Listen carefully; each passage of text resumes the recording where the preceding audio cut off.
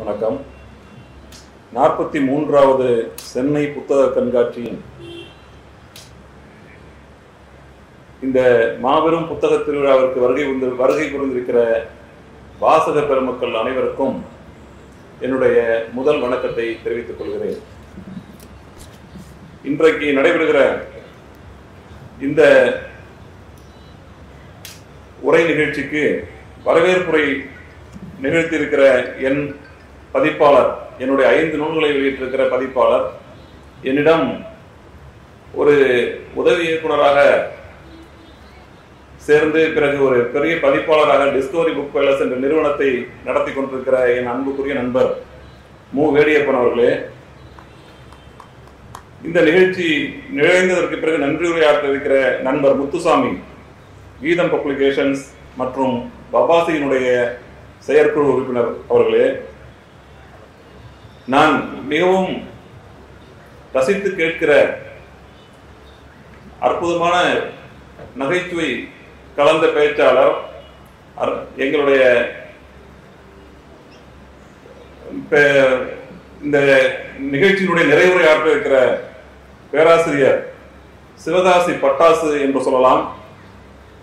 சும்மா தெருக்க விட்டு பேச இருக்கிற எம். ராமச்சந்திரன் அவர்களே பாரதி இயற்றிய பைந்தமிழ் வெளிச்சம் என்ற தலைப்பில் உரையாற்ற இருக்கிற என் அன்புக்குரிய நண்பர் நடிகர் கவிஞர் பாடலாசிரியர் என்று பல்வேறு முகங்களை கொண்ட ஜோ மல்லூரி அவர்களே தொடர்ந்து இந்த புத்தக திருவிழாவை சிறப்பாக நடத்தி வருகிற பபாசி நிர்வாகிகளே பதிப்பாளர்களே நண்பர்களே மேடைக்கு முன்னால் விட்டிருக்கிற அறிஞர்களே உங்கள் அனைவருக்கும் என் அன்புக்குரிய வணக்கத்தை தெரிவித்துக் கொள்கிறேன். இன்றைக்கு திரைத்தமிழ் என்ற தலைப்பில் உரையாற்றுகிற வாய்ப்பு கிடைத்ததற்காக உண்மையில் மகிழ்ச்சி அடைகிறேன். இந்த விழாவிற்கு என்னுடைய நண்பர் இயக்குனர் லிங்குசாமி வருவதாக சொல்லியிருந்தார். அவர் வந்து விட்டாரா என்று எனக்கு தெரியவில்லை. எதிரில் கூட இருக்கலாம். அவருக்கு முதலில் என்னுடைய வணக்கத்தை தெரிவித்துக் கொள்கிறேன். அதை தொடர்ந்து சில எழுத்தாளர்கள் இந்த உரைக்கு அழைத்திருக்கிறேன். திரைப்பட வசனகர்த்தாக்கள் கதாசிரியர்கள் அனைவரையும் கூட. அவர்களும் இந்த கூட்டத்தில் இருக்கக்கூடும். அவர்கள் ஒவ்வொருவரையும் நான் வணங்குகிறேன் வரவேற்கிறேன். இந்த புத்தக கண்காட்சிக்கும் எனக்கும் உள்ள தொடர்பை முதலில் ஒரு ஒரு ஒன்று இரண்டு நிமிடங்களில் கூறிவிட்டு என்னுடைய தலைப்பிற்குள் நுழையலாம் என்று நினைக்கிறேன். நான் சென்னைக்கு வந்து ஏறக்குறைய இருபத்தி ஐந்து ஆண்டுகள் முடிந்து விட்டன.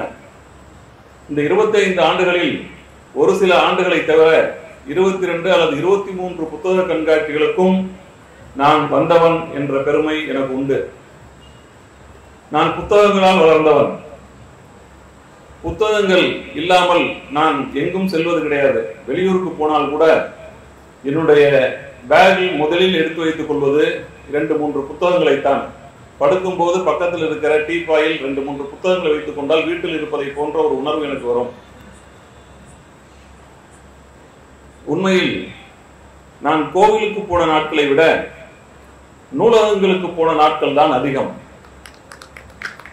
பள்ளிக்கூட பாடங்களை படித்து அறிந்து கொண்டதை விட கவிதை கதை புத்தகங்களை படித்து புரிந்து கொண்டவைதான் அதிகம். என்னுடைய ஆலயங்கள் நூலகங்கள் என்னுடைய வழிபாடு வாசிப்பு. நூலகங்களுக்கு அடுத்து நான் சென்ற இடம் என்று சொன்னால் அது திரையரங்குகள். திரையரங்குகளில்தான் என்னுடைய படிப்பை நான் பெற்றேன். இன்றைக்கு திரைப்பட வசனகர்த்தாவாக இருப்பதற்கும் ஒரு படம் இயக்கியதற்கும் நான் கும்பகோணத்தில் எந்த இந்த துறைக்கு வரப்போகிறேன் என்ற முன்கூட்டியே எந்த முடிவும் இல்லாத போது நான் பார்த்த படங்கள் தான் என்னை இங்கு அழைத்து வந்திருக்கின்றன என்பதனால் அந்த திரையரங்குகளும் நான் படித்த பள்ளிக்கூடங்கள் தான் ஆகவே எனக்கு இப்படி ஒரு வாய்ப்பு கிடைக்கிற போது நான் திரைத்தமிழ் பற்றி பேச விரும்புகிறேன் என்று கூறினேன். தமிழில் மூன்று தமிழை நீங்கள் அறிவீர்கள். இயல் இசை நாடகம் ஆகிய மூன்று பிரிவுகளில் தமிழை பிரித்து நாம் வகைப்படுத்தி அதை நாம் படித்து வருகிறோம். அந்த வரிசையில் அந்த மூன்றையும் இணைத்த ஒரு தமிழ் தான் திரைத்தமிழ். திரைப்படங்கள் தமிழ்நாட்டுக்கு வந்து நூறு நூற்றாண்டை கடந்து விட்டன. ஒரு நூற்றாண்டை கடந்து போய் சென்று கொண்டிருக்கும் இந்த திரைப்படம் தமிழ் பேசியது ஏறக்குறைய 75 ஆண்டுகள். அதற்கு முன்னால் பேசா படங்களாக இந்த திரையரங்குகளில் நம்முடைய திரையரங்க ஒரு திரையரங்குகளில் இந்த படங்கள் ஓடிக்கொண்டிருந்தன. முதன் முதலாக ஆயிரத்தி தொள்ளாயிரத்தி முப்பத்தி ஒன்னில் காளிதாஸ் என்ற படத்தில் தான் இந்த சினிமா பேசத் தொடங்கியது. அதுவும் அந்த படத்தை முழுமையான தமிழ் சினிமா என்று ஏற்றுக்கொள்ள முடியாது என்று ஆய்வாளர்கள் கூறுகிறார்கள் ஏனென்றால் அதில் பல மொழிகள் பேசப்பட்டன. கதாநாயகன் ஒரு மொழி கதாநாயகி ஒரு மொழி வில்லன் ஒரு மொழி என்று அப்போது இருக்கிற அந்த நடிகர்களை வைத்துக் கொண்டு எடுக்கப்பட்ட படம் என்பதனால் அந்த சினிமா என்பது பல்வேறு மொழிகளை பேசக்கூடியதாக அன்றைக்கு எடுக்கப்பட்டது. அதற்கு ஒரு சில ஆண்டுகள் கழித்து எடுக்கப்பட்ட படங்கள் தான் முழுமையான தமிழ் படங்களாக வெளிவரத் தொடங்கின. நாடகங்களில் இருந்து எடுக்கப்பட்ட கதைகள் தான் முதன் முதலாக சினிமாவாக எடுக்கப்படுகிறது.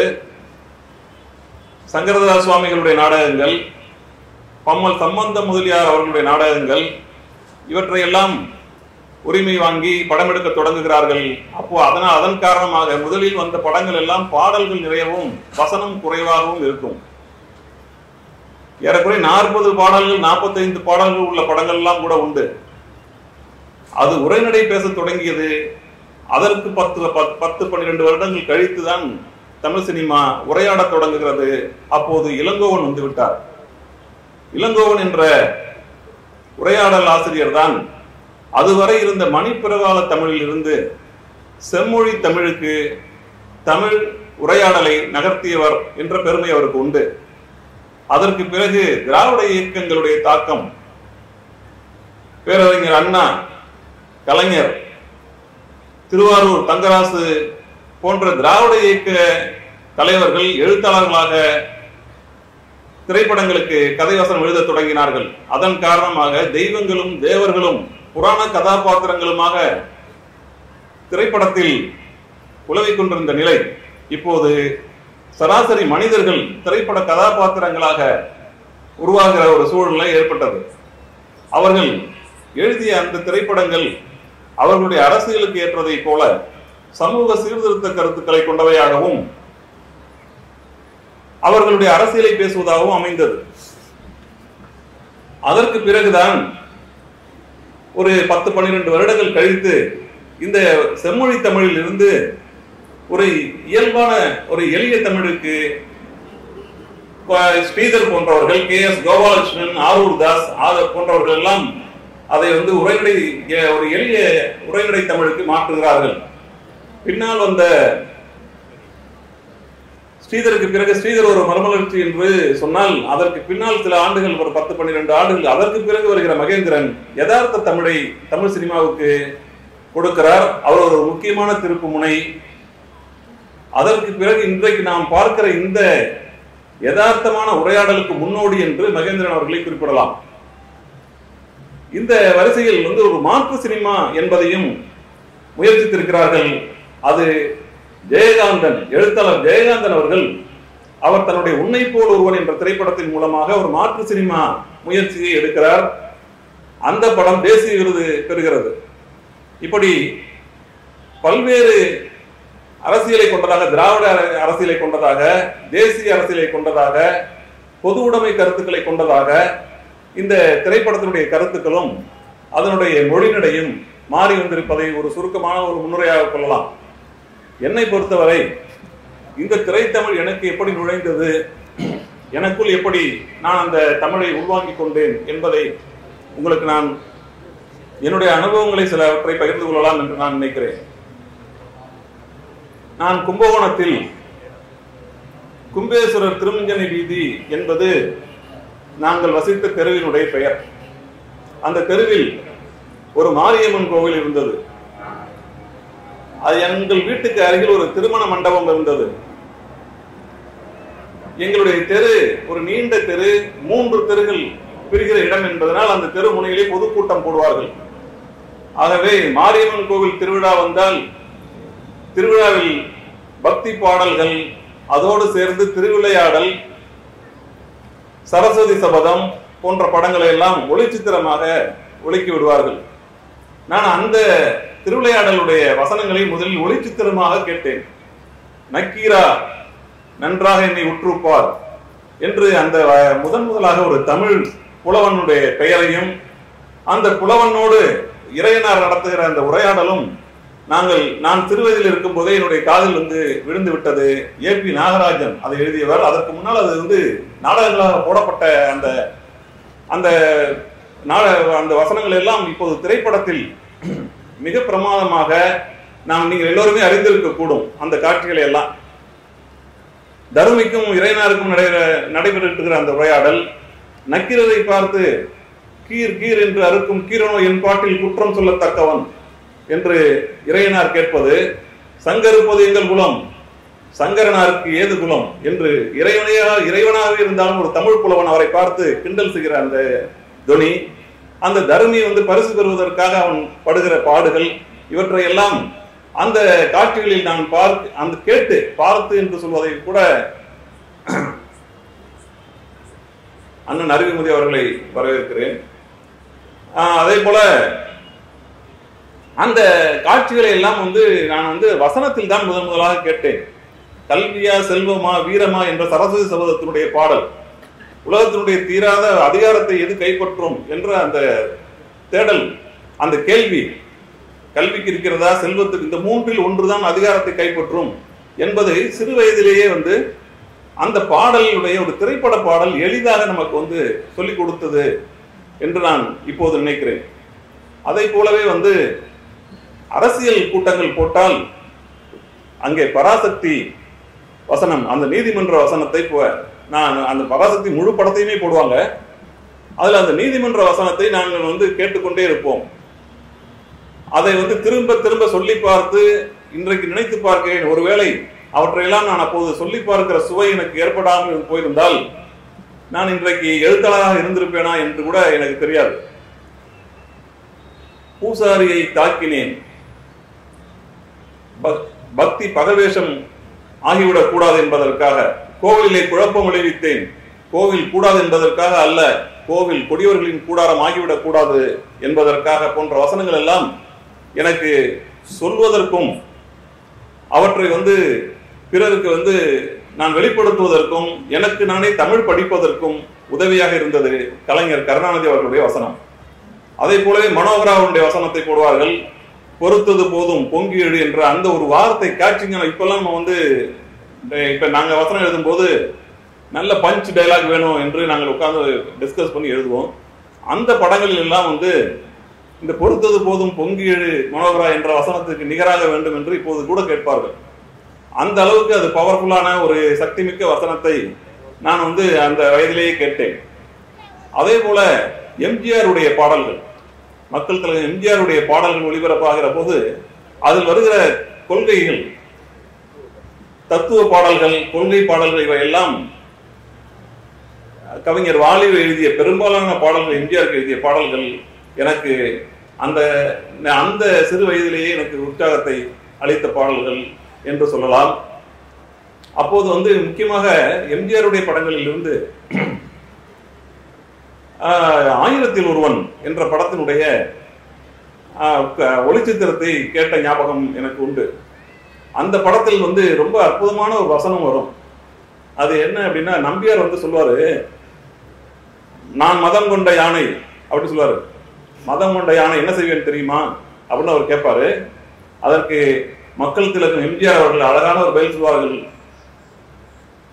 சினம் கொண்ட சிங்கத்திடம் மதம் கொண்ட யானை பயந்து ஓடும் என்று. அந்த படத்தில் வருகிற ஒவ்வொரு வசனமுமே பஞ்சு வசனமா இருக்கும். நான் தோல்வியை பார்த்து பழக்கப்படாதவன் என்று சொல்வார் நம்பியார்.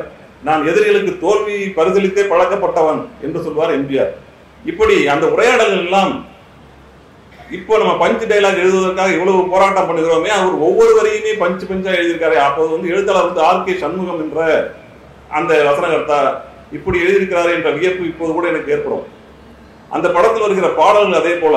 ஆயிரத்தில் ஒருவர் வருகிற பாடல்கள் வந்து ஒரு ஒரு தன்னம்பிக்கை தருகிற உற்சாகமூட்டுகிற பாடல்களாக இருக்கும். அதில் வருகிற அந்த அம்மா பாட்டு என்பது இன்றைக்கும் எம்ஜிஆருடைய புகழை பாடக்கூடியதாக நமக்கும் வந்து தாய் மீது மதிப்பு வைத்திருப்பவனுக்கு எப்படிப்பட்ட வெற்றி கிடைக்கும் என்பதை சொல்லித் தருவதாக அந்த தாய் இல்லாமல் நான் இல்லை.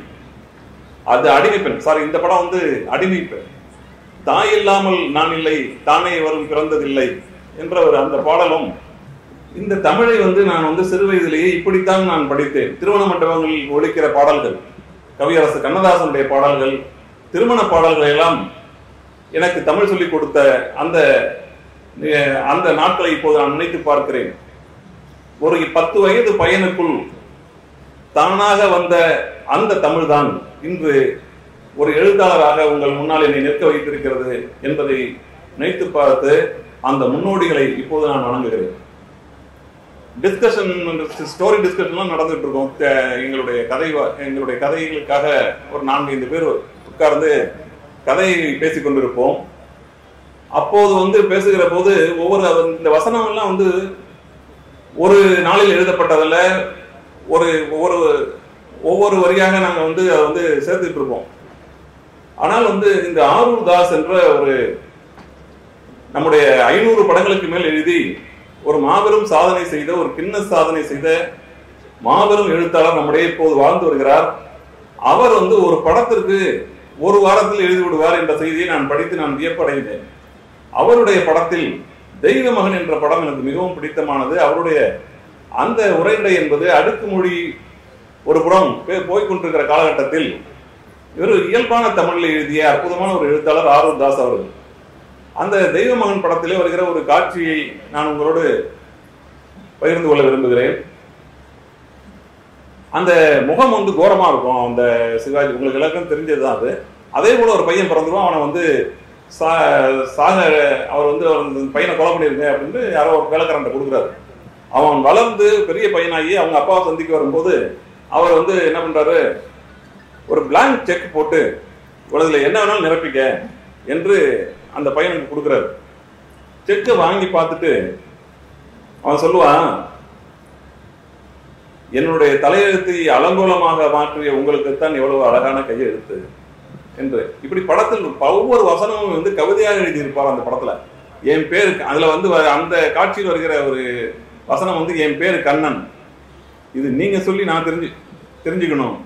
ஆனா நான் சொல்லி நீங்க தெரிஞ்சுக்கிற நிலைமையில் இருக்கு என்று அடுத்த அடுத்தாப்புல சொல்லுவான்.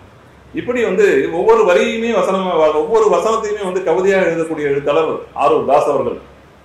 எனக்கு மிகவும் பிடித்த ஒரு காட்சி வசந்த மாளிகை படத்திலே வருவது ஒரு ஒரு முக்கியமான ஒரு காட்சி. அது வந்து என்னன்னா நாளைக்கு இன்று காலையில அந்த கதாநாயகிக்கு திருமணம். கதாநாயகன் வந்து அவளை கடைசியாக பார்க்க வருகிற போது எழுதப்பட்டிருக்கிற ஒரு வசனம் ரொம்ப அற்புதமா இருக்கும். அது என்ன அப்படின்னா அந்த பொண்ணு வந்து மணமண்டபத்துக்கு போக போறா. இப்ப வந்து அந்த பொண்ணுடைய தங்கச்சிகிட்ட கதாநாயகன் வந்து சொல்லி அனுப்புறாரு. நான் வந்து கடைசியா ஒரு முறை பார்க்கணும் அப்படின்ட்டு. அவர் வந்து தயங்கி தயங்கி போய் சொல்றா. அப்படி வர முடியும் என்று அவள் கேட்டுட்டு வர மறுக்கிறா. அவளை சமாதானப்படுத்தி கூட்டு வர்றாங்க. இப்ப வந்து அந்த பொண்ணு வந்து அந்த கொ- கல்யாண மண்டபத்தினுடைய பின்பக்கம் வந்து நிற்பாங்க. சிவாஜி கேட்பாரு பக்கத்துல அவங்க அருகே கொஞ்சம் ஒரு டிஸ்டன்ஸ்ல வச்சு கேட்பாங்க. அப்போ வந்து சிவாஜி சொல்ற ஒரு வசனம் வந்து ஒரு காவியத்தன்மை கொண்ட ஒரு வசனம் அது. இப்போ இருக்கிற இந்த இடைவெளி எப்பயும் நிரந்தரமாயிடும்ல இனிமே என்று அவர் வந்து சொல்வார் அவர். அதாவது இதற்கு முன்னால் வந்து அந்த பெண்ணை வந்து இனிமேல் அந்த பெண்ணை ஒரு தீண்டக்கூட முடியாது ஒரு அணைக்க முடியாது என்பதை வந்து அதாவது காவியங்களில் மட்டும்தான் வந்து இது போன்ற காட்சிகள் வரும் என்பது அல்ல. இப்போது நம் திரை பார்க்கிற திரைப்படங்களில் கூட ஒரு காவிய காட்சி வரும் என்பதற்கான ஒரு அழுத்தமான ஒரு வசன அழுத்தமான ஒரு வசனமாக அது அமைந்திருந்தது. அப்போது மிகவும் பேசப்பட்ட ஒரு முக்கியமான அந்த படத்துல வருகிற அந்த படத்துல ஒரு வசனம் இல்லை. ஏக நிறைய வசனங்கள் இருக்கு நிறைய இருக்கு. நான் வந்துகிட்டே இருக்கேன் அப்படின்னு அவங்க சொல்லுவாங்க கதாநாயகி நான் போயிட்டே இருக்கேன் என்பார் அவர். இப்படி ஏறக்குறைய இந்த படத்தில் முதல் காட்சியிலிருந்து அந்த ஒரு அந்த பொண்ணை வந்து ரொம்ப ஒரு ஒரு த- சுயமரியாதை உள்ள ஒரு பொண்ணு கதாபாத்திரம் அது. அவளுக்கு ஏதேனும் சுயமரியாதைக்கு கேடு நிகழ்ந்தால் அவள் வந்து வேலையை விட்டுவிட்டு போவதற்கு எப்போதும் தயாராக இருக்கிற ஒரு முறை இந்த மாதிரி ஒரு நிகழ்ச்சி நடந்துடும் உங்களுக்கு தெரிஞ்சதுதான் அது. அப்போ வந்து அவர் அந்த பொண்ணு வந்து அதுவரை நடந்த கணக்கு வழக்குகளை எல்லாம் வந்து எடுத்து ஒரு மிச்ச பணத்தையும் கொண்டு வந்து ஒரு பக்கம் வச்சுட்டு ராஜினாமா கடிதத்தையும் கொண்டு வந்து வைப்பாங்க. அப்ப வந்து சிவாஜி சொல்லுவார் எனக்கு யாரும் இது வரைக்கும் பணம் கொடுத்ததில்ல. நான் தான் நிறைய பேருக்கு கொடுத்துருக்கேன். ஆனா நீ முத முறையா கொடுக்குற அப்படிம்பாரு சொல்லிட்டு சொல்லுவாரு ஒண்ணு உன்னுடைய அகம்பாவம் ஒன்னு இன்னொன்று என்னுடைய அதிகாரம் என்று அவர் சொல்வார். அதே போல வந்து நிறைய இருக்கு. அந்த படத்தினுடைய வசனகர்த்தா பால பாலமுருகன் அவர்கள் இன்னும் நம்முடைய வாழ்ந்து கொண்டிருக்கிற ஒரு மாபெரும் ஒரு 75 படங்களுக்கு மேல வசனம் எழுதி வருவார். அவருடைய மகன் வந்து பூபதி ராஜா அவர்கள் இப்போ இங்கே வந்திருக்கிறார் என்று நினைக்கிறேன் இங்கே இருப்பார். அவரு அவர் ஒரு முப்பத்தைந்து படங்களுக்கு தெலுங்கிலும் தமிழ் ரெண்டு மொழிகளிலும் கதை கொடுப்பவர் வசனம் எழுதுகிறவர். அவர் வந்து பாலமுருகன் அவர்கள் வந்து மாபெரும் ஒரு க- ஒரு கவிஞர் போல அவங்க வசந்த மாளிகை படம் பார்த்தீங்கன்னா தெரியும் அவர் நிறைய எழுதியிருக்கார். வசந்த மாளிகையில் வந்து அந்த மாளிகைக்குள்ளார போகும்போது வசனம் ஒன்று பேசிட்டே போவார். பார் இந்த மாளிகை இந்த எனக்காக கட்டி என்னுடைய மனக்கோவில் வாழ்ந்து கொண்டிருக்கும். காதலிக்காக நாங்கள் கட்டி வைத்திருக்கும். மாளிகை பாருன்னு பேசிட்டே போவார். ஒவ்வொரு வரியுமே வந்து கவிதையா இருக்கும். அதே போல வந்து ரிக்ஷாக்காரன் என்ற ஒரு படம். ரிக்ஷாக்காரன் படத்தில் வருகிற ஒரு முத்திரை இப்போ முத்திரையான ஒரு வசனம் என்று சொன்னால் அது வந்து அந்த கோர்ட் சீன் அந்த கோர்ட் ஒரு முக்கியமான சீன் அது. அந்த கோர்ட்ல எம்ஜிஆர் மேல ஒரு பொய் வழக்கு போட்டிருப்பாங்க. வில்லன் எக்ஸாம்பிள் நிற்பாரு. மக்கள் திலகம் ஒரு பக்கம் நிற்பாரு. நீதிபதியை பார்த்து நீங்க கட நீதிபதி கேட்பாரு. கதாநாயகனை பார்த்து நீதிபதி கேட்பாரு.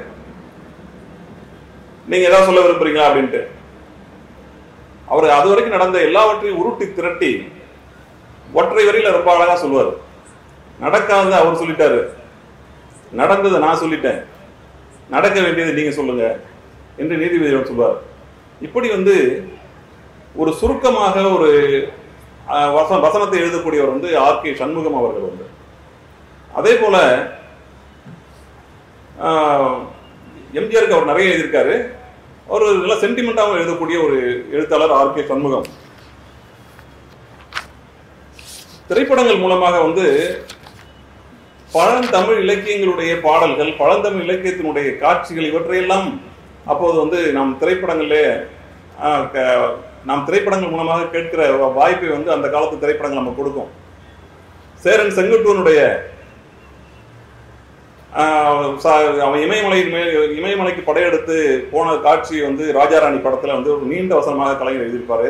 அதே போல வந்து கொங்குதேர் வாழ்க்கை அஞ்சுரை தும்பி காமம் செப்பாது கண்டது முடியுமோ என்ற அக பாடல் ஒன்றை குறுந்தொகையினுடைய அகப்பாடல் ஒன்றை வந்து நாம் வந்து இன்றைக்கு ஈஸியாக வந்து இன்னைக்கு எடுத்து சொல்றோம் அப்படின்னா அது வந்து நம்ம திருவிளையாடல் படத்தின் மூலமாக நமக்கு வந்து காதல் விழுந்து நாம் வந்து இன்றைக்கு அதை அந்த ஒரு சங்க இலக்கியத்தை வந்து நாம் இன்றைக்கு சொல்லுகிற ஒரு வாய்ப்பை வந்து திரைப்படத்தின் மூலமாக தான் நாம் பெற்றிருக்கிறோம். அதே போல நாடோடி மன்னன் படத்தில் கவியரசு கண்ணதாசன் அவர்கள். கண்ணதாசன் பாடலாசிரியராக புகழ்பெற்றிருந்த காலத்தில் அவர் எழுதிய சில படங்கள். அதுல நாடோடி மன்னன் என்ற படத்தில் அவர் எழுதியிருப்பாரு. எம்ஜிஆருடைய மிக முக்கியமான ஒரு அவருடைய அரசியல் வாழ்க்கையிலும் கூட அந்த வசனம் பொருந்தக்கூடிய அளவுக்கு அந்த வசனம் வந்து ரொம்ப புகழ்பெற்ற ஒரு வசனம். நான் உன்னைய நம்பி வீணா போயிட்டேன் என்று அந்த வில்லன் சொல்லுவான். நம்பியார் சொல்வார் அதற்கு மக்கள் திலகம் பதில் வந்து அழகான ஒரு பதில். என்னை நம்பி கெட்டவர்கள் யாரும் இல்லை. நம்பாமல் கெட்டவர்கள் தான் உண்டு என்று. இப்படி எதிர்காலத்தில் முதல்வராக போகிறார் என்பதை எல்லாம் அது முன்கூட்டியே அறிந்து வைத்திருக்கிறாரோ என்று சொல்லுகிற அளவுக்கு அந்த படத்தில் உடைய பாடல்களும் அமைந்திருக்கும். பட்டுக்கோட்டை கல்யாண சுந்தரத்தினுடைய பாடல்கள் காடு விளைஞ்சென்ன மச்சான் கையங்காலும் தானே மிச்சம் என்ற பாடல் காடு விளையட்டும் பொன்னை நமக்கு காலம் இருக்குது பின்னே என்று அவர் வந்து நாளை போட போறோம் சட்டம் என்றெல்லாம் அந்த பாடத்தில் வருகிற பாடல்கள் சொல்லுவோம் அதனாலதான் புரட்சி தலைவர் எம்ஜிஆர் தன்னுடைய முதலமைச்சராக பதவி இருக்கிற போது சொன்னதாக ஒரு ஒரு ஒரு ஒரு வார்த்தையை குறிப்பிடுவார்கள். அது இந்த நாற்காலியுடைய நான்கு கால்களில் மூன்று கால் எவை என்று எனக்கு தெரியாது. ஆனால் ஒரு கால் பட்டுக்கோட்டை கல்யாண சுந்தரம் என்பது மட்டும் எனக்கு தெரியும் என்று அந்த கவிஞனையை வந்து அவர் கௌரவப்படுத்துவார். பாடல் வரிகளை வாங்குவதில் மக்கள் திலகம் எம்ஜிஆருக்கு நிகர் வேறொருவர் கிடையாது.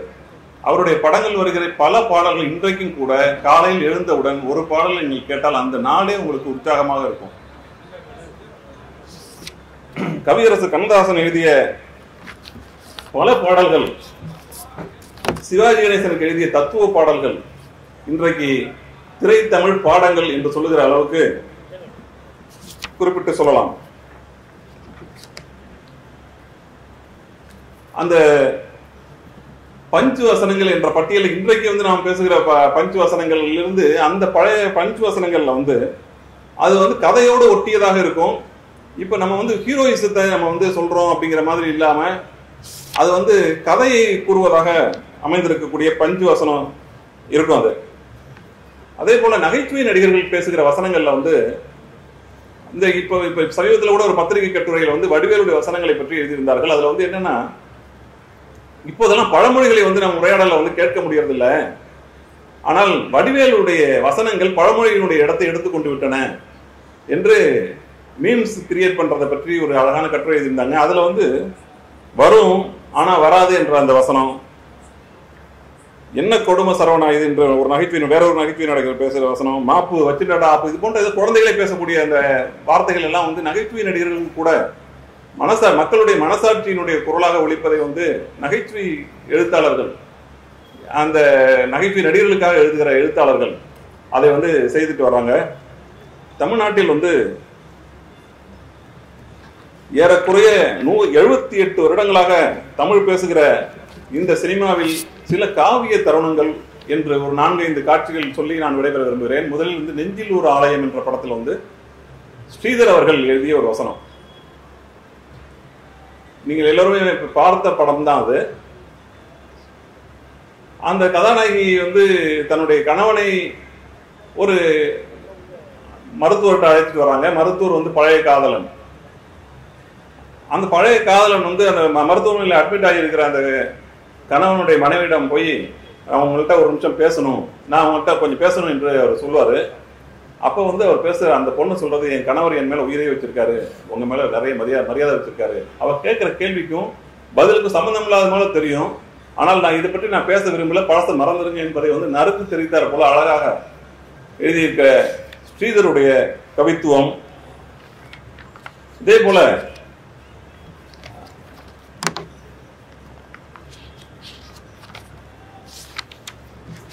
ஒரு இப்ப சமீபத்தில் சொல்ல போனோம்னா நம்ம வந்து மணிரத்ன ம- இய- மணிரத்னம் இயக்கிய படத்தினுடைய வசனத்தை நான் வந்து மிகவும் விரும்புவேன்.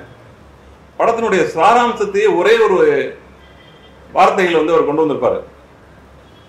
நாயகன் படத்துல இறுதி காட்சியில கோர்ட் தீர்ப்புக்காக அவர் போயிட்டு போயிட்டு இருக்கும்போது அவருடைய பேரன் வந்து வழிமறித்து பேசுகிற பேசுவதை போன்ற ஒரு வசனம். அது வந்து தாத்தா நீங்க நல்லவரா கெட்டவரா என்று கேட்கிற ஒரு வசனம் அது. ஒரு மனிதனுடைய ஒட்டுமொத்த வாழ்க்கையே வந்து விசாரிக்கிற அந்த அந்த ஒற்றை வரியில் கேட்கிற அந்த வசனம் வந்து ஒரு முழு படத்தையும் நமக்கு வந்து எடுத்து சொல்வதாக இருக்கும். இயக்குனர் லிங்குசாமி அவர்களை வரவேற்கிறேன். அந்த ஒட்டுமொத்த வசனம் அதாவது நான் சின்ன வயசுல வந்து இஆர்சி இடம் சுட்டி பொருள் விளக்கம் தருக என்ற பாடத்தை வந்து நான் வந்து விரும்பி எழுதுவேன். இன்று போய் நாளை வா என்ற ஒரு வரியை கொடுத்ததற்கு பிறகு அந்த வரி வந்து முழு கதையும் சொல்லும் அது. இன்று போய் நாளை வா என்று ஒரு வரி ஈஆர்சியில் இடஞ்சுட்டி பொருள் விளக்க சொன்னோம்னா அந்த படம் வந்து ராமாயணத்தில் இடம்பெறுகிறது யுத்தகாண்டத்தில் இடம்பெறுகிறது. இது வந்து ராவணன் வந்து எல்லா ஆயுதங்களையும் இழந்து நிராயுதபாணியாக இருக்கிற போது ராமன் வந்து அவனை பார்த்து சொல்றது தன்னுடைய மனைவியே ஒருத்தன் கடத்தி கொண்டு போய் வச்சிருந்தாலும் கூட எது நிராயுதபாணியுடன் போரிட மாட்டேன் என்ற சத்தி சத்திரியத்தினுடைய சத்திரியனுடைய தர்மத்தை சொல்லுகிறது என்றெல்லாம் அந்த காட்சியில வந்து நம்ம அந்த ஒரு வரிக்கு வந்து அந்த முழு ராமாயணத்தையுமே வந்து அந்த ஒரு வரி வந்து எடுத்து சொல்லும் என்றெல்லாம் நம்ம வந்து சின்ன வயதுல பாடம் எடுத்துக்கிற போது நம்ம எழுதியிருப்போம். அதே போல இந்த ஒற்றை வரியில நீங்க நல்லவரா கெட்டவரா என்ற ஒரு வரியில முழு படமும் நமக்கு வந்து ஓடும்.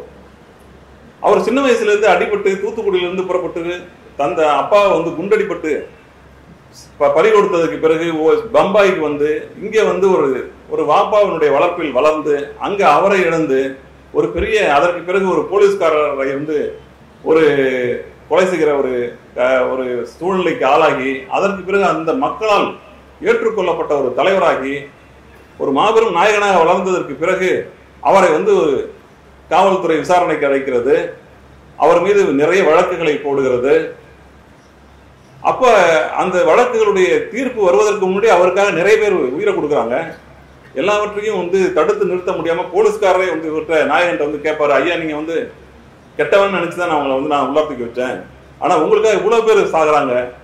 அதுக்கு என்னன்னு என்னால் கண்ட்ரோல் பண்ண முடியல. என்று போலீஸ்காரரே வந்து அவர்கிட்ட கேட்கும்போது அவர் சொல்லுவாரு நான் சாதாரண ஆளா? என்னால் என்ன செய்ய முடியும்? சொல்லுங்க. இல்லை நாளைக்கு நீங்கள் வந்து கோர்ட்டுக்கு வரும்போது எது வேணாலும் நடக்கலாம். அதனால நீங்க வந்து ஏதாவது கண்ட்ரோல் பண்ணணும் ஜனங்களை அப்படின்னு சொல்லுவார்.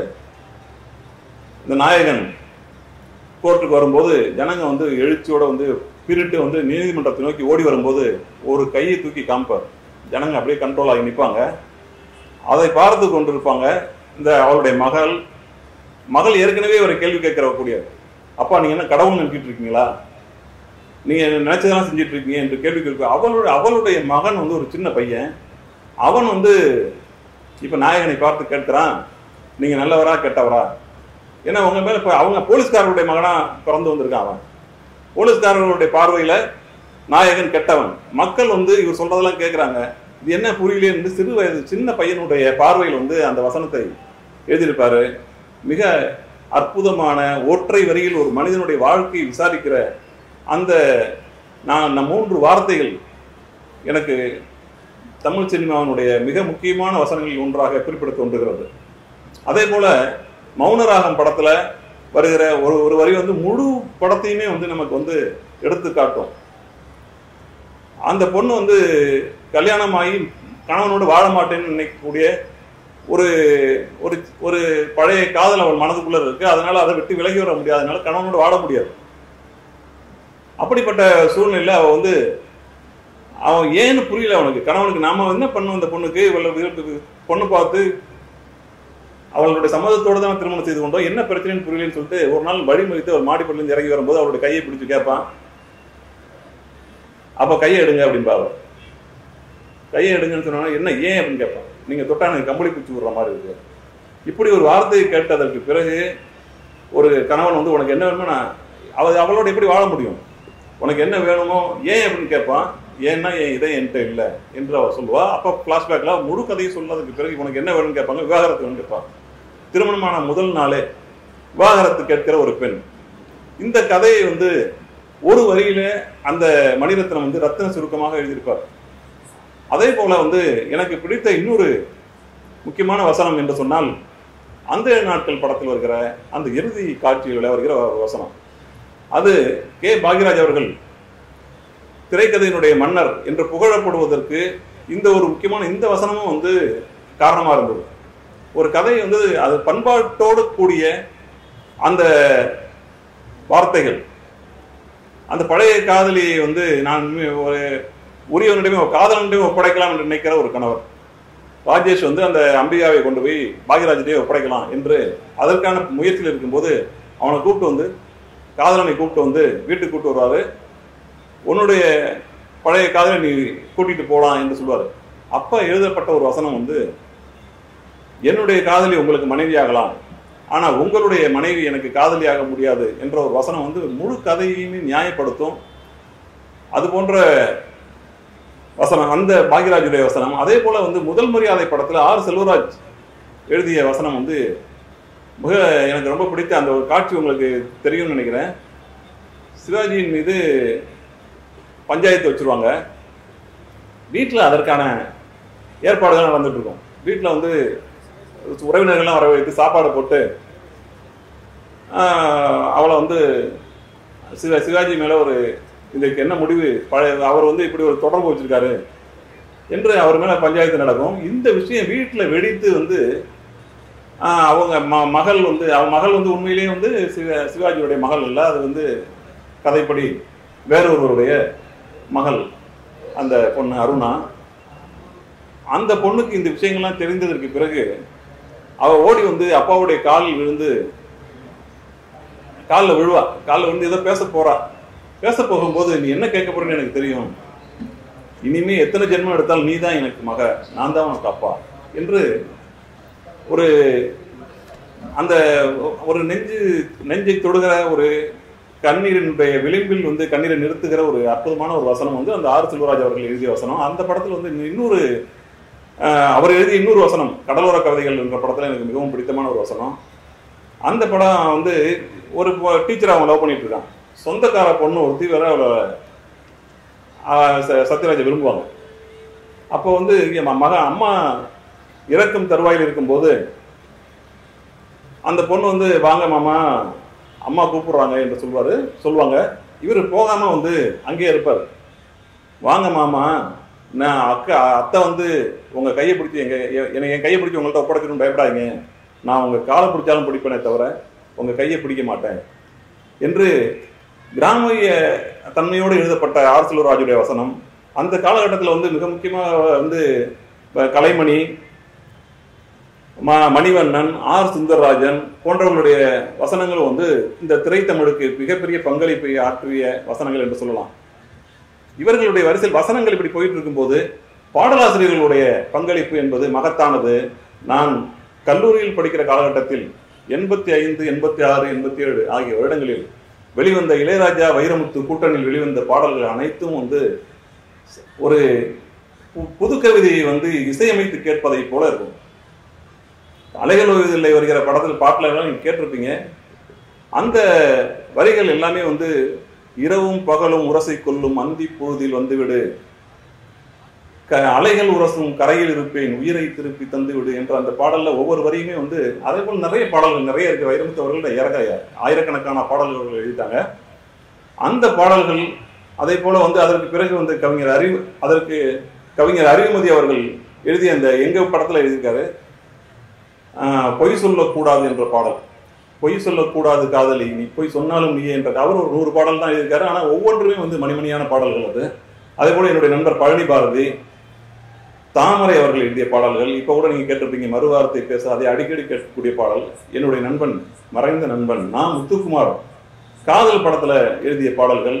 அதில் வந்து காதல் படத்தில் அவர் வந்து அந்த பாடலில் வருகிற ஒரு வரி வந்து ஒரு ஹைப்பு கவிதை போல எழுதிப்பார் மின்சார கம்பிகள் மீதும் மைனாக்கள் கூடு கட்டும் அதாவது ஜாதி பிரச்சனை ரெண்டு பேருக்கு இடையில சேரவே முடியாது என்ற சூழ்நிலையில அந்த பொண்ணை கூட்டிட்டு வெளில போயிட்டு இருக்கும்போது அவன் அந்த மாண்டேக் சாங்ல வருகிற அந்த ஒரு வரி வந்து அந்த மய மின்சார கம்பிகள் மீது மைனாக்கள் கூடு கட்டும் என்று எழுதியிருப்பாரு. இப்படி ஏராளமான பட்டுக்கோட்டை கல்யாண சுந்தரம் பாடலாசிரியர்கள் வந்து ஏ- நமக்கு அதாவது நமக்கு பாப்புலரான பாடலாசிரியர்கள் தான் நமக்கு தெரியும். அதாவது காமு ஷெரீப் ஆலங்குடி சோமு செங்குட்டுவன் இன்னும் நிறைய சொல்லிக்கிட்டே போகலாம் அந்த மாதிரி பாடலாசிரியருடைய பங்களிப்பும் திரைத்துறைக்கு வந்து மாபெரும் பங்களிப்பை செஞ்சிருக்கு. இந்த துறையில் இவ்வளவு மேதைகளும் இவ்வளவு கலைஞர்களும் பணியாற்றிய இந்த துறையில் நாங்களும் பணியாற்றி கொண்டிருக்கிறோம் என்பது எனக்கு கிடைத்திருக்கிற ஒரு மாபெரும் பெருமை என்று நினைக்கிறேன். நான் முதன் முதலாக எங்கள் வீட்டில் ஒரு ரேடியோ வாங்கிய போது அந்த பா ரேடியோ வந்து ஆன் பண்ணோன்னு கேட்ட பாடல் நதிக்கரையோரத்து நாணல்களே எங்கள் நாயகன் அழகை பாடுங்களேன் என்ற ஒரு பாடலை நான் வந்து முதன் முதல்ல கேட்டேன். அதே போல் எங்கள் வீட்டில் டிவி வாங்கினோடனே முதன் முதலாக அந்தே நாட்கள் படம் போட்டாங்க. அந்த அந்தே நாட்கள் படம் பார்த்தேன். நான் சென்னைக்கு திரைப்படத்துறைக்காக பணியாற்ற வருகிற வருகிற அந்த உதவி இயக்குநராக சேருவதற்காக வருகிற அந்த போது அந்த வந்தபோது இதே போல தொலைக்காட்சியிலும் இதே போல ரேடியோவிலும் நம்முடைய பாடல்களும் நம்முடைய படங்களும் ஒளிபரப்பாக வேண்டும் என்ற கனவுகளோடு வந்தேன். இன்றைக்கு நான் ஊரில் இருந்து ஊரில் இருந்து வருகிற ஃபோனை வந்து அட்டன் பண்ணும்போது உன் படம் ஆனந்தம் ஓடிட்டு இருக்கு தொலைக்காட்சியில் ஓடிட்டு இருக்கு என்று சொல்லுகிற போது நாம் வந்து அந்த பயணத்தை வந்து நான் ஓரளவுக்கு வெற்றி பெற்று விட்டேன் என்ற ஒரு மகிழ்ச்சி எனக்கு கிடைக்கும். அது அதே போல் இப்போ சமீபத்தில் நான் பாடலே எழுதியதில்லை. தொடர்ந்து பல கம்போசிங்லாம் போவேன். ஆனால் நான் பாடல் எழுதியதில்லை. சமீபத்தில் இந்த சண்டைக்கோழி ரெண்டில் ஒரு பாடல் எழுதுகிற வாய்ப்பையும் வந்து இயக்குனர் லிங்குசாமி எனக்கு கொடுத்தாரு. அந்த படத்தில் ஒரு சின்ன பாடல் எழுதினேன். ஆகவே ரேடியோவிலும் கூட என்னுடைய பாடல் வந்தது. இந்த ஒரு வசனத்தை நான் எழுதிய ஒரு வசனத்தை கூறி இந்த உரையை நிறைவு செய்ய விரும்புகிறேன் ஆனந்தம் படம் வந்ததுக்கு பிறகு எங்களுக்கு நானும் லிங்குசாமி வந்து பல இடங்களுக்கு போகிற போது எங்களுக்கு கிடைக்கிற வரவேற்பு என்பது ஒரு குடும்பத்தினுடைய ஒரு சகோதரரை வரவேற்பதை போல அந்த குடும்பத்தினுடைய உறுப்பினரை வரவேற்பதை போல வரவேற்பாங்க. வாங்க சார் எங்க வீட்டில் வந்து ஒரு நாள் இருங்க. மலேசியாவுக்கு நாங்கள் ஒரு வாட்டி பையா படத்தினுடைய கம்போசிங்காக போயிருந்தோம். அப்போ வந்து ஒரு இஸ்லாமிய நண்பர் நாங்கள் அந்த அந்த சரவணபவன் அங்கே இருக்கிற சரவணபவன்ல சாப்பிட்டு இருக்கும்போது ஒருத்தர் வந்தார். சார் நாங்கள் நாலு பேர் சார் நாங்களும் பிரதர்ஸ் லிங்கசாமி வீட்டில் இருக்கிற மாதிரி நாங்களும் நாலு பேர். நாங்கள் வந்து வெவ்வேறு பகுதிகளில் வேலையை செய்கிறோம் எப்போதாவது விடுமுறை நாட்களில் எங்கள் வீட்டில் வந்து முக்கியமான பிரச்சனைகளை நாங்கள் பேசுவோம். பேசுவதற்கு முன்னாடி இந்த ஆனந்த படத்தை ஒரு முறை திரையிடுவோம். திரையிட்டு முடித்ததற்கு பிறகு நாங்கள் எங்கள் பிரச்சனையை சொல்லும்போது ஈஸியாக அந்த பிரச்சனை முடிஞ்சிடும் என்று அவர் சொன்னார். ஒரு திரைப்பட வசனகர்த்தாவுக்கு அல்லது வந்து ஒரு திரைப்பட இயக்குனருக்கு இதை போன்ற ஒரு கிரெடிட் அதாவது அவங்க குடும்பத்தில் இருக்கிற ஒரு பிரச்சனையை வந்து நாம் சால்வ் பண்றோம். ஏதோ நம்ம மறைமுகமாக அது ஒரு உதவி செய்த அந்த படம். ஒரு கலை என்பதனுடைய பணி வந்து இதுதான். அதே போல வந்து நாங்கள் பிரிந்திருந்த அண்ணனை வந்து நான் வந்து போய் பார்த்தேன். சூப்பர் குட் ஃபிலிம்ஸில் வருகிற கடிதங்கள் ஆனந்தம் படம் வந்ததுக்கு பிறகு லிங்குசாமிக்கு ஏகப்பட்ட கடிதங்கள். லிங்குசாமி என்ற பேர்ல அன்பு சகோதரனே போட்ட கடிதம் எழுதுவாங்க. அது வந்து என்னன்னா அவங்க குடும்ப பிரச்சனைகளை வந்து இந்த படம் தீர்த்து வைக்குது. நான் வந்து பிரிந்திருந்த அண்ணனை வந்து நான் இந்த படம் பார்த்ததுக்கு பிறகு நான் வந்து கண்ணீரோடு போய் சந்தித்தேன் என்று வரும். அந்த படத்தில் வந்து இடம்பெறுகிற ஒன்று இரண்டு வசனங்களை கூறிவிட்டு விடைபெற விரும்புகிறேன். வியாபாரம் சம்பந்தமாக எழுதப்பட்ட ஒரு வசனம். தொழில்னா என்னன்னு தெரியுமா? நாணயம். ஜனங்க நம்ம கையில் கொடுக்குற நாணயத்துக்கு நம்ம நாணயமாக நடந்துக்கணும் ஜனங்க ரெண்டு பேர் கையில தான் தராசு கொடுத்துருக்காங்க.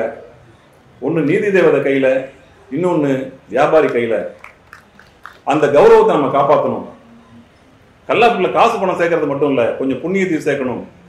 அரிசியில் கள்ள கலக்குறிய கட்டின பொண்டாட்டிகிட்ட கலப்படம் இருந்தால் ஒத்துப்பியா என்று கேட்கிற அந்த வசனத்தை வந்து எனக்கு மிகவும் இன்றைக்கும் வந்து எனக்கு ஓ- ஒரு மறை ஒரு ஒரு புகழை பெற்றுத்தருகிற வசனம் என்று எனக்கு சொல்லலாம் அந்த படம். அதே போல் அந்த படத்தினுடைய கிளைமேக்ஸ் அந்த பொண்ணு வந்து வீட்டை விட்டு வெளில வந்து வீட்டை விட்டு அப்பாஸோட கடைசி தம்பியோட வீட்டுக்கு வந்துருவாங்க. சினேகா அப்போ மம்முட்டி பேசுகிற வசனங்கள் வந்து ஒரு நல்ல பேரை வாங்கி கொடுத்த வசனம் என்று சொல்லலாம். அந்த மம்முட்டி சார் சொல்லுவார் அப்போ இந்த எங்கள் வீட்டுக்கு வர பொண்ணு வந்து இந்த மாதிரி அர்த்தராத்துல யாருக்கும் தெரியாமல் வர்றதை நான் விரும்பல. உங்கள் அப்பா எவ்வளோ பெரிய ஆள்? இந்த விஷயம் வெளில தெரிஞ்சதுன்னா அவருக்கு எவ்வளோ பெரிய அவமானம்? இது யாருக்கும் தெரியறதுக்கு முன்னாடி நீ முதல்ல உங்கள் வீட்டுக்கு போ. என்று அவர் அனுப்பி வைப்பாரு. இதுக்குள்ளே அந்த வில்லன் வந்து விஜயகுமார் வந்து ஆள் படையெல்லாம் திரட்டிக்கிட்டு வீட்டுக்கு கூட்டு வந்துருவாரு. இப்போ வெளிலேருந்து இந்த வசனம் இதெல்லாம் இந்த இவர் பேசுனதெல்லாம் கேட்டுட்டு நான் நினைச்சேன் நீ என்ன நீதான் என் மனுஷன் நீதான் என் பெரிய மனுஷன்? இந்த ஊர்ல என்னைய பெரிய மனுஷன் சொல்றதெல்லாம் பொய். பொய் நீதான் என் பெரிய மனுஷன்? என் மரியாதையை பற்றி நீ கவலைப்படுற? நான் உன்னை வந்து வெட்டுறதுக்கு ஆள் அம்போட வந்திருக்கேன் இந்த அருவாளை கீழே போட்டுட்டு அவர் அந்த அந்த அந்த வசனத்தை வந்து அந்த இதை வந்து சொல்லுவார் அவர் மனதில் இருப்பதை சொல்லுவார் அதுவும் வந்து இந்த குடும்ப இன்றைக்கும் வந்து ஆனந்தம் படத்தில் வந்து பார்க்கும்போது தொலைக்காட்சியில் பார்க்கும்போது இன்றைக்கு வந்து மக்களை வந்து ஈர்ப்பதற்கு அது வந்து ஒரு ஒரு அந்த வெளிப்படை தன்மை அது ஒரு நேர்மை அந்த இதெல்லாம் வந்து அந்த படத்தில் ஒரு காட்சியாக வச்சிருந்தாரு. அதுக்கு வந்து உருவம் கொடுக்குற வார்த்தையை கொடுக்குற வாய்ப்பு எனக்கு கிடைத்தது. அதே போல் மகேந்திரன் சாருடைய படங்களில் வாழ்வியல் சம்பந்தமான படம் முழுக்க நீங்க பாத்தீங்கன்னா வாழ்வியல் சம்பந்தமான ஒரு வசனத்தை எங்கேயோ ஒரு இடத்துல இடைத்திருகளாக அவர் சொல்லிடுவார் ஏதோ ஒரு இடத்துல வரும். வாழ்க்கைக்கு நாம் எங்கேயோ தேடிய கேள்விக்கு பதிலாகி வந்து அவர் வந்து ஒரு இடையில வந்து சொல்லுவார் முள்ளு மலர் படத்தில் ஒரு காட்சி ஞாபகம் சொல்லிட்டு இருக்கும்போது நினைவுக்கு வருது. அதோட முடிக்க போகிறேன் அந்த டீ கடையில் உட்காந்து வெந்நீராடை மூர்த்தி இன்னும் ரெண்டு மூணு பேர் பேசிட்டு இருப்பாங்க. அப்போ ஒருத்தன் கேட்பான் நான் அந்த ஆள் இப்படி பண்ணுவார்னு எனக்கு தெரிய நம்பவே முடியல. அப்படின்னு. அதுக்கு வெந்நீராடை மூர்த்தி சொல்லுவாரு. மனுஷனுக்கு வர துன்பத்துக்கெல்லாம் காரணம் என்ன தெரியுமா? அவர் இப்படி பண்ண மாட்டாரு இவர் இப்படி பண்ணுவாருன்னு முன்கூட்டியே நினைச்சுக்கிறது தான் அப்படின்னு சொல்லுவார். முன் முடிவுகள் வந்து ஒரு மனிதரை பற்றியோ ஒரு நிகழ்ச்சியை பற்றியோ ஒரு விஷயத்தை பற்றியோ நாம் நம்முடைய முன் முடிவுகள் வந்து எப்படி வந்து நம்முடைய வாழ்க்கைக்கே வந்து சிதைவாக மாறிடுது என்பதை வந்து அவர் சொல்லியிருப்பாரு. அது போன்ற ஏராளமான மேதைகள் பணியாற்றுகிற இந்த துறையில் நானும் என்னுடைய பேனாவை எழுதுவதற்கு கிடைத்திருக்கிற இந்த மாபெரும் வாய்ப்பினை எனக்கு கிடைத்த ஒரு மா ப- ஒரு பெருமையாக நினைத்து கிடைத்த வாய்ப்பிற்கு பபாசுக்கு நன்றி கூறி விடைபெறுகிறேன். வணக்கம்.